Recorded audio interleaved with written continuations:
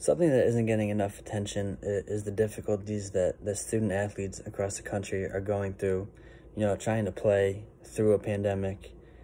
Being a part of two different programs during this pandemic, you know, at Providence last year, the end of our season, and then Binghamton this year, our entire season, has kind of given me a unique perspective and has made me realize even more of how hard this has been on student athletes, not just basketball, but every single sport. You this pandemic hit at the end of last basketball season last year and, and canceled every postseason tournament, and the biggest one being the NCAA tournament, you know, March Madness in basketball. Last year I played at Providence and, and we were primed for not only an opportunity to, to make the NCAA tournament, which was, you know, the biggest goal in, in my whole life, and that's that's the reason why I went to Providence was to make the NCAA tournament, and we were there. You know, we qualified, we made it, but um, it was taken away from us. And, and not only would we have made it, we would have had, you know, a really good chance to, to advance and, and succeed in the tournament and, and go, you know, who knows how far.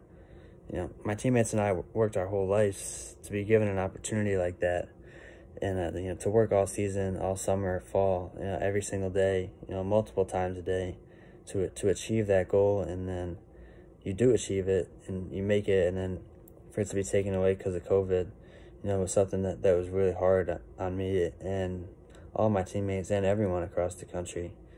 You know, like I said, that was our biggest dream. You know, the biggest basketball dream. You know, ever since kid, that that's the ultimate goal is trying to make the NCAA tournament and um, like I said, we, we we did it, but you know we, we weren't given you know the chance to experience it, and, and that was really hard. So now bring the heart of the pandemic into this season, you know, brings new and, and different challenges to to a new school being at Binghamton here. The only way you have a chance to play, you know, a season right now is if you isolate and test frequently. So we live in a bubble my teammates and I, pretty much with no no social interaction, you know, except for ourselves. You know, we don't see our friends, we don't see our families. We only see each other, you know, from September until March, the end of the season. So we go to practice, work out, do whatever we got to do at the facility, and then we go back to our rooms, and that's that's it. And we repeat that process every day. You know, that's our bubble. That's that. Those are the only things that we do because we don't want to we don't want to contract COVID. You know, we don't want to get sick, obviously, but we don't want to. If anyone on our team gets COVID, we get shut down for two weeks, and it's an immediate quarantine. So we want to avoid that so we can play. You know, college basketball players this year are are testing three times a week. So we show up really early in the morning. You're not allowed to eat or drink before you take the test. So we wake up at, at six, you know, six in the morning go go down, someone you know sticks a Q-tip up our nose, and if you have been tested before, you know how really uncomfortable that is, and it's a feeling that that I've never felt before. It feels like someone poking around in your brain, you know. And we do that three times a week, every week, just to hopefully have the opportunity to play. And uh, even sometimes, you know, that doesn't work, and, and we still have to be in quarantine you know, we have, we've been put in quarantine four different times. Know, whenever anyone gets positive test, that's an immediate quarantine. And that creates a big responsibility and potential stressor, a stressor among us to try and not let each other down. So we really need to, to isolate and sacrifice, you know, all that, that family time and that time spending with your friends or parties or anything like that. Like we can't do it. We got to stay away just because we really want to play and kind of to make you understand, you know, what it's like. We have one freshman on our team. He's the only one. He's from Texas, so he's in a, brand new place, brand new people.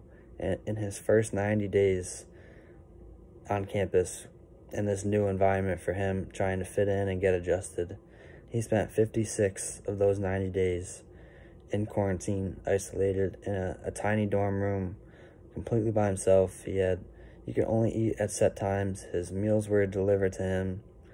Couldn't go anywhere. So 56 of those 90 days as a 18-year-old freshman from Texas living in Binghamton, you know, all because he just wants to to have a season. I, I think that's that's really crazy and that's really hard on him and and everyone who's been put in a similar situation.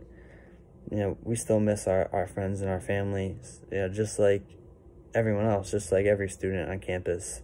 But we don't get to go home on weekends if we're homesick or for the holidays. You know, for Thanksgiving, we sat, we ate together, we sat at tables of two, completely spread out.